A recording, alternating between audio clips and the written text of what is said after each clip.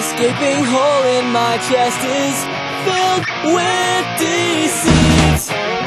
Nightmare, I don't like.